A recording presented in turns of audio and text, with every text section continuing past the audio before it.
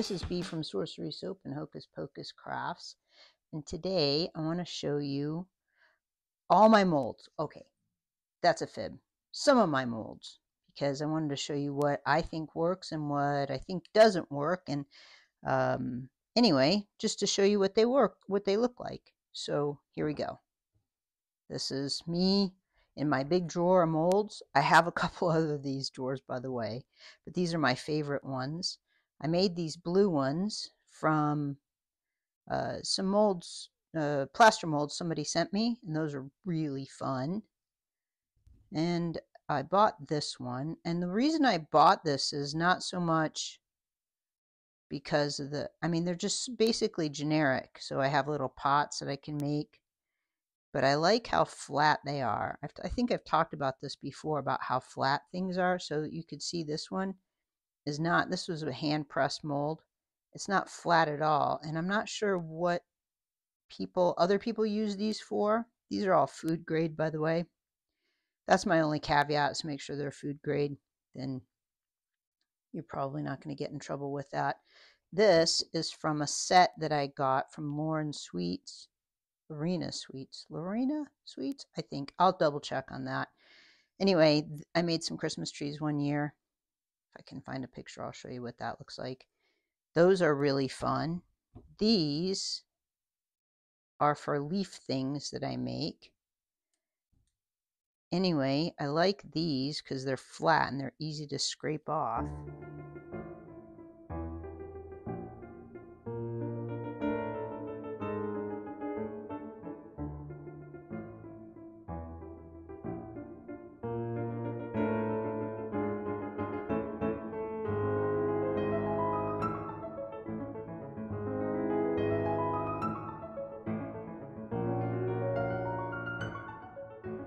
Thought this would be good, but as you can see, okay. So this, you see how firm that is? That's kind of the texture I'm looking for. This is too floppy and there's too much detail. So the soap dough gets in there and you can't pull it out. Um, I made this one from another soap mold I had, which I don't really see in here. I'm sure it is. Oh, so this, this is for melt and pour. I make little round balls in this. I made the dragon eyes with this. And let's see here. Chess pieces. There's a host of stuff in here. My The purple ones are, these are from somebody who used to sell on Etsy, and I don't see them anymore. And then you can tell she stamps the backside, which is really nice. And these are from somebody in the UK, and it cost me a fortune, but I couldn't find them anywhere else. And they're meant for something else. They're definitely not meant for soap because I'll show you in a minute. But if you scrape it, it's not level and it, it takes a lot of fiddling. And I bought that one. That one's awesome, but hard to do. I've used that one quite a bit. I'm sure you can remember that. The bones I used, but I like making my own handmade bones. And here, let me show you some of these. This, this never turned out right. It never turned out right because it's too, I don't know if you can see that, but it's too, it's not flat. So you don't get any sharp edges. So that's kind of a pain. Oh, here's the one I bought that I made a bunch more of. This is too soft. That's why I remade this mold. Let me see, where is that? Yes, these are not organized at all because that's the level of chaos. And these, again, too soft. Good for melt and pour. Way too soft. Don't like them. They kind of break down a bit too. So that's that. Oh, I want to do this guy too. Um, these are impression mats. They're hard, but I just use them for, I roll it out and then I just use, oh yeah, I want to show you one more thing.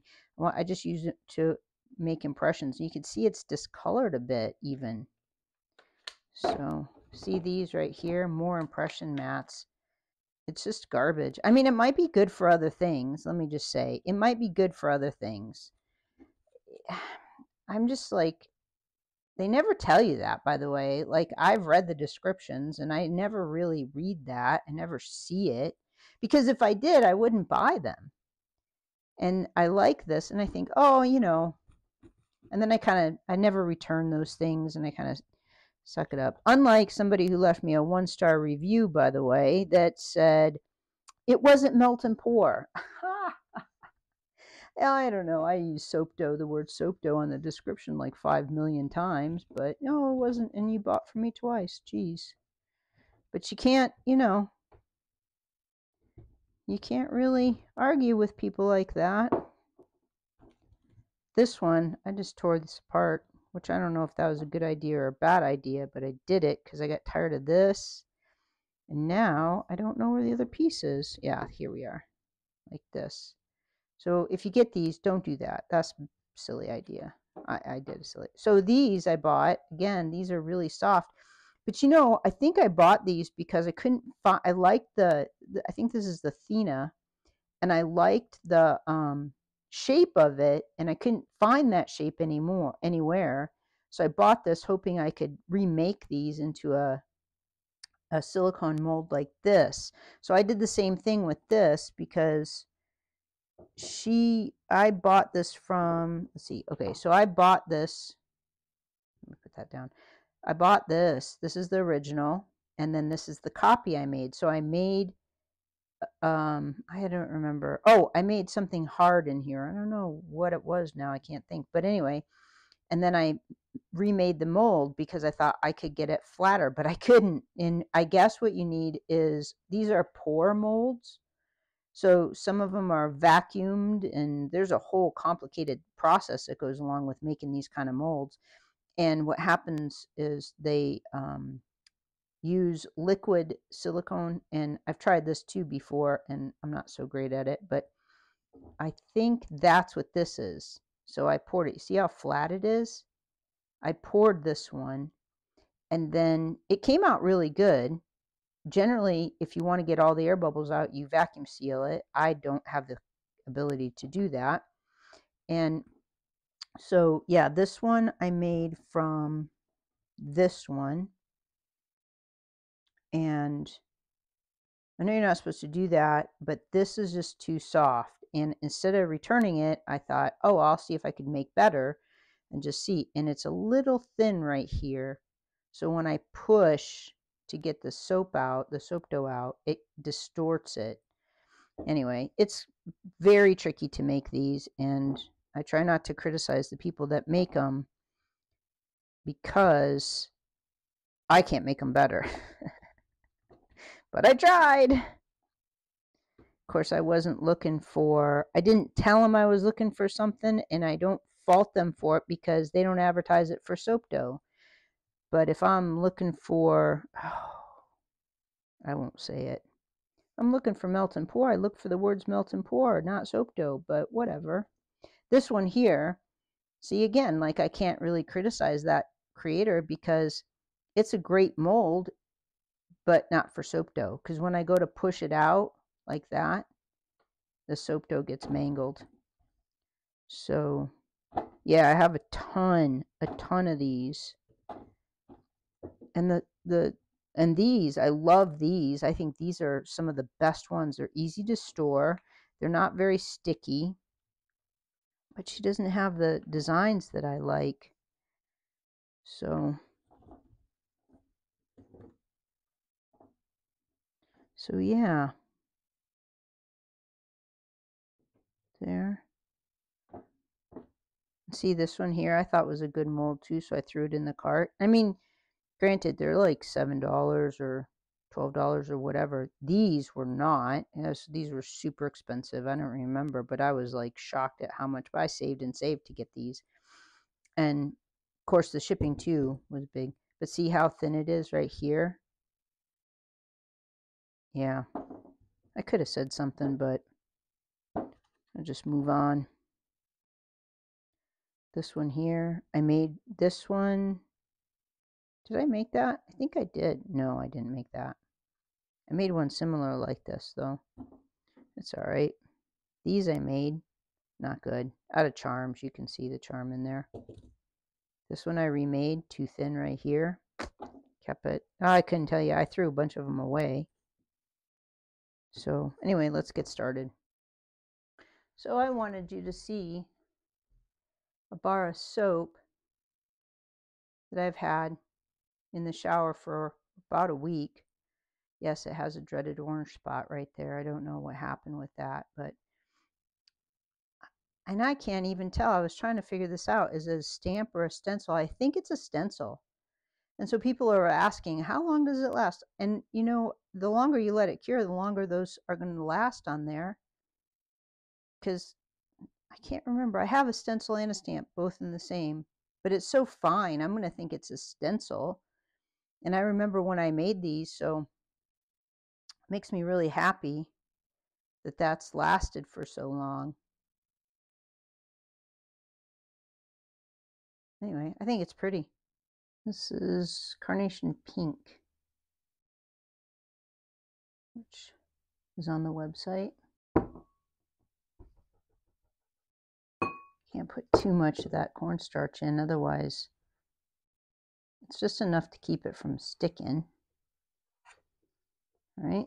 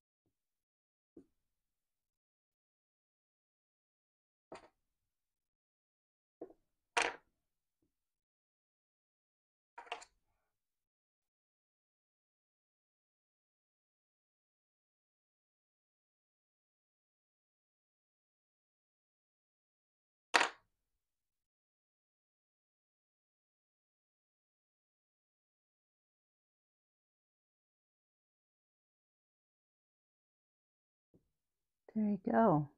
That came out pretty nice. And I try to clean up the edges so they don't look all frayed and rough. And then if I um, paint this with mica, it'll stand out even more. I used to give these away as soap samples too. I think they're fun. I might do that again, except that they're not scented really. Here, let's do this one. This one's complicated. And I just mixed a bunch of leftover soaps soap doughs together so you can see what that looks like.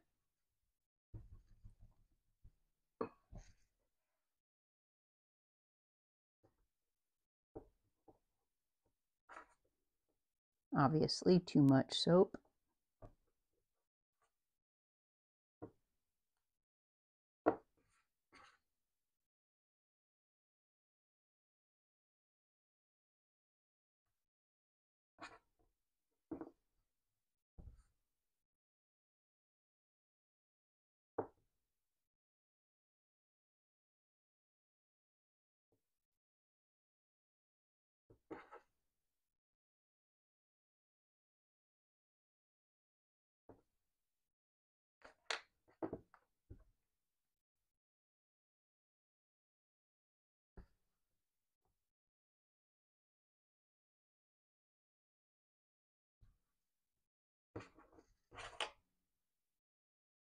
The more I can clean up on the back side, the less work I have on the front side when I pop it out.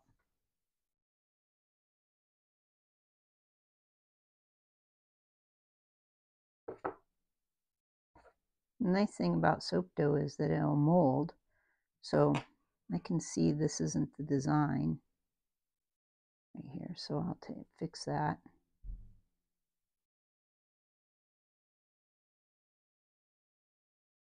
And then see how it pushed right here? I can't push right along here when I popped it out so these are pretty tricky. But anyway there's that. We have these guys. Let's do Ganesh. He's pretty complicated. He is the Hindu god of mischief and mayhem and trickery sort of like uh, Loki from Norse uh, mythology. I'm going to use this neon green. It's so great and bright.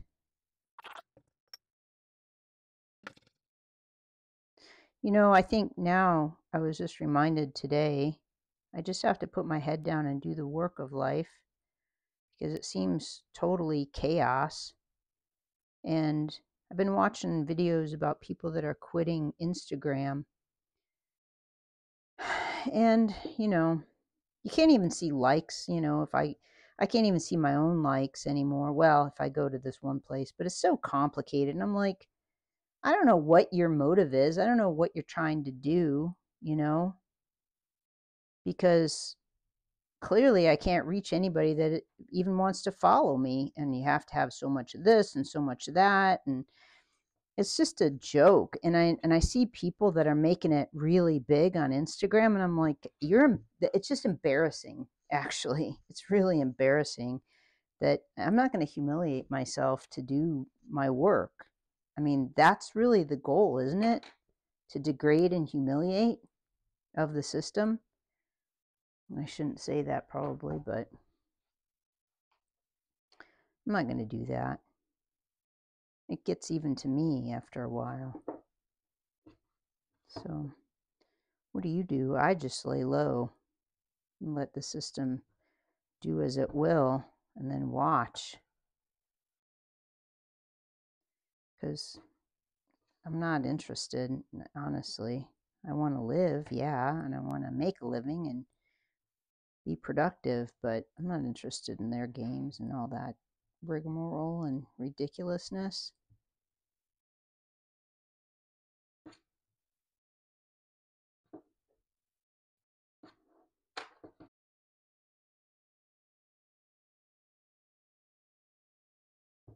There we go. See how it kind of comes curved, but if I lay flat, I can mold them. That's why the back has to be super flat, but you can see that it's really not. And you can't get it out of the mold super flat. Anyway, if I do that too much, let's see. There. Okay, let's do the owl. It's kind of tricky.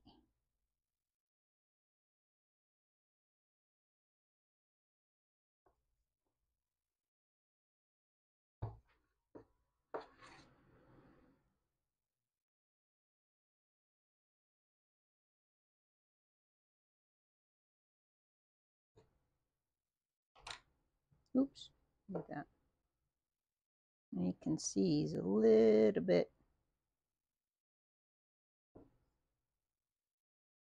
Oh, there he just came right out. That's kind of cool, huh? They look a lot better once I paint them, but they're really fun. Anyway, something. So I hope you have a great day. Hope your soap dough stays pliable and you find some inspiration somewhere. Thanks for watching.